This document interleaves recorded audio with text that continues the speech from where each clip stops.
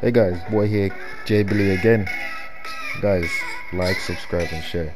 Paul Pogba today.